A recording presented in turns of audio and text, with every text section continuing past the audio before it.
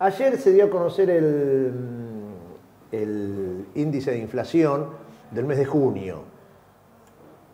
Dio un número menor aún al que, al que se había planteado, ¿no? que se venía especulando. Seis puntos la inflación, altísima, niveles altísimos, seis puntos de inflación es altísimo. Hace dos meses era el 8,4. El mes anterior había sido 7,6 y ahora en 6. En, una, eh, en un rumbo de descenso que puede modificar. Que se nota, que se nota. Se nota, se, nota, que quizás el mes que viene vuelve, digamos, los niveles de inflación son altos, muy altos, altísimos. Siempre eh, es bueno eh, tener en cuenta algo que hemos señalado, la inflación ha sido este año, a partir de la guerra de la OTAN contra Rusia, algo que ha marcado y que ha impactado en todo el mundo, que ha llegado a tener crecimiento porcentuales del 100% en países que nunca tuvieron. Claro, el 100% de 1 a 10. no más, el 1000% de 1 a 10 no es el 100, ¿no? Este, o sea, eh, nosotros estamos con un piso inflacionario altísimo, entonces también eso nos impacta, sumado a los manejos y a los problemas nuestros, sumado a la sequía, pero no es que no pasa nada en el mundo, en todo el mundo se ha desatado un proceso inflacionario. No es lo mismo pasar de 1 a 2 que de 50 eh, a 100, eh, por supuesto que no. Ahora, se anunciaba dos meses atrás, tres meses atrás, dos meses atrás, todos estos grandes cráneos de la economía, los desestabilizadores profesionales, que habíamos ingresado en una espiral de, violencia, una espiral de, inflación que nos iba a llevar por encima de los dos dígitos y ya a las puertas de un proceso hiperinflacionario. Claro. Eso lo decían ayer, ayer nomás. Y la verdad es que de abril a hoy la inflación cayó dos puntos y medio prácticamente. ¿Sí? No es lo mismo, es una inflación altísima, pero con esta eh, alternativa. No hay una situación económica descontrolada, hay una puja, hay una pelea por la economía, por los números de la economía. Eh, dato importante de este último mes es que donde se notó este, mucho que no hubo crecimiento inflacionario fueron los alimentos, que era algo que veníamos señalando todo el tiempo nosotros acá, todo el mundo dice, bueno, el mayor de los problemas del proceso inflacionario es que sobre todo aumenta porque aumentan los alimentos, que tienen eh, impacto directo eh, en los sectores populares. Bueno, en el último mes eso se desaceleró, se desaceleró mucho. Eh, lo que menos subió en el mes fueron los alimentos y bebidas, que avanzó un 4,1%, mientras que lo que más aumentó fueron las comunicaciones, 10,5%, salud, 8,6% y vivienda, 8,1%. Fíjense en lo que tiene que ver con los alimentos, en el desagregado en Gran Buenos Aires. Eh, verduras, tubérculos, legumbres descendieron un 5,9% durante junio, las frutas cayeron un 3%, eh, y carnes y derivados, en Gran Buenos Aires solo subió un 0,9%. ¿Cómo fue la distribución del crecimiento inflacionario en las diversas regiones del país? En la Patagonia el, índice fue del 6,8, en el noreste del 6,6, en el noroeste del 6,6, que estuvieron por encima del, número general. En las regiones fue del, en la región pampeana fue del 5,9, en Cuyo del 5,3 y en el Gran Buenos Aires del 5,8, por debajo del eh, nivel general del 6%. Digo, estamos en medio de una disputa, de una, puja, de una puja por la economía y también una puja distributiva. Veníamos señalando, un proceso inflacionario no es lo mismo que te agarre con un gobierno nacional impopular o que intenta proteger los sectores populares que con un gobierno de derecha. A cualquiera le puede suceder un proceso inflacionario, ¿no? Ahora, una de las diferencias centrales es que los gobiernos populares intentan ir acompañando con la apertura de las convenciones colectivas de trabajo, con este, ¿no? las paritarias, con bonos, con, bueno, con diversas medidas. Cuando hablábamos de la jubilación hace un par de días atrás, señalábamos que los sectores de la mínima en ingresos bajísimos, bajísimos, que no, no tienen nada que ver con lo que es la noción de la justicia social. Pero esos sectores le han ganado en estos cuatro años a, la inflación. tomando, por supuesto, los aumentos eh, jubilatorios, más los bonos, más el tema de los medicamentos.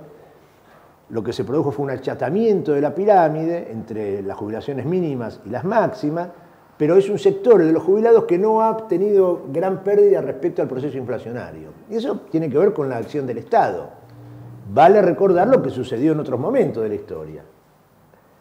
En este sentido, la Secretaría de Comercio en el día de ayer acordó con los farmacéuticos, hizo un acuerdo hasta el mes de agosto para que no haya aumentos de medicamentos por encima del, índice inflacionario.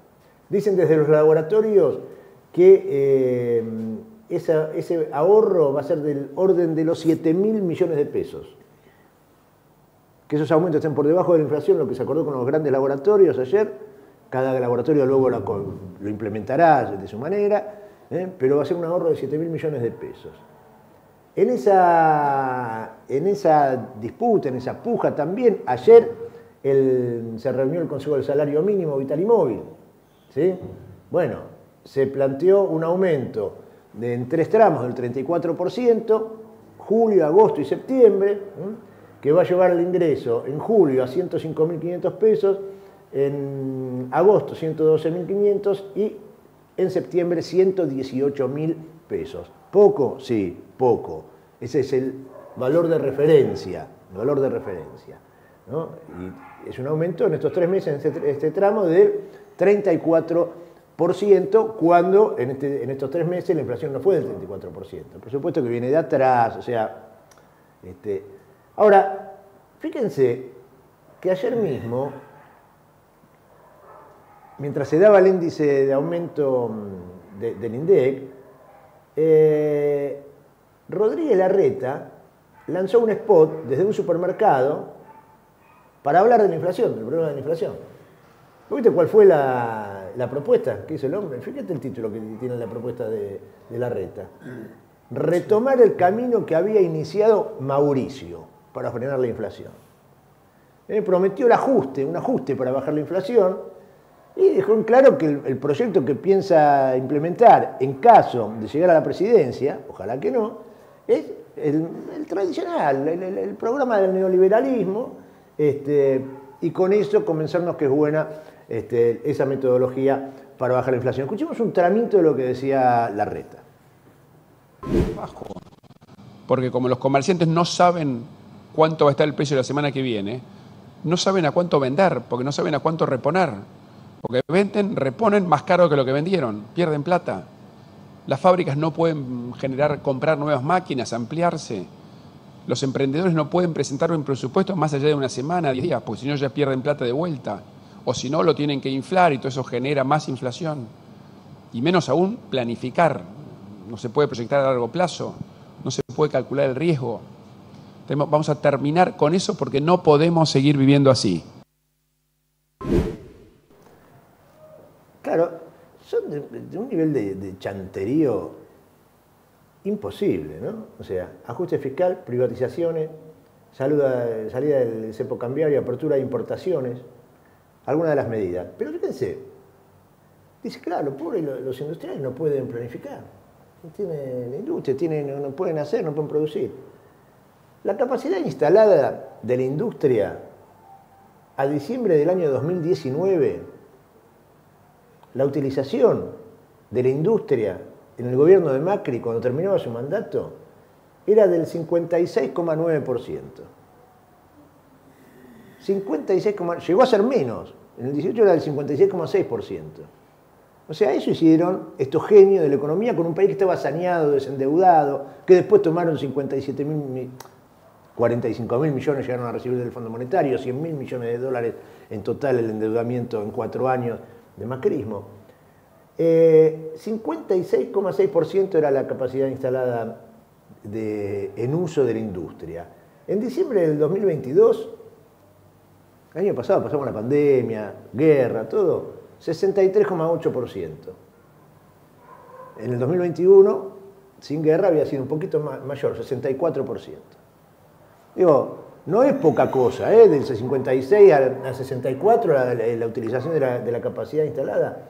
Ahora, la reta que promete para dar solución a la situación de la inflación, de la economía, volver a retomar lo de Macri. ¿Cuántas empresas cerraron entre el año 2015 y el año 2019? 24.505 empresas. Datos oficiales, ¿eh? Antes dábamos a datos del INDEC. ¿eh?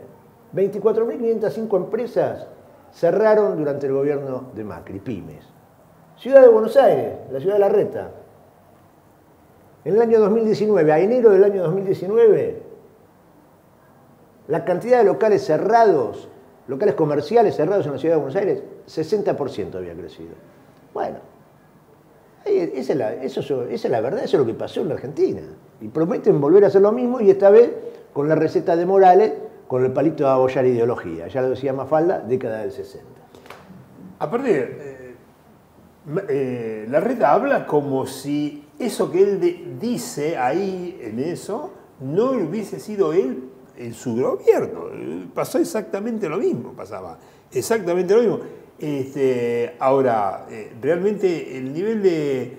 Eh, ¿Sabes qué? La mentira no tiene límite. No, tiene, no, no hay un límite. se miente, se sabe que se miente porque vos podés no decir la verdad sin saberlo, ¿viste? Sin saber que está faltando la verdad. Ahora, este, esta, estas personas realmente es muy duro, ¿eh? es muy duro tener que escucharlo a Rodríguez Larreta decir cosas que pensé yo que no las iba a decir, si iba a ser, los iba a ir por otro lado. No, no, están desemposadamente este, abiertos a la mentira.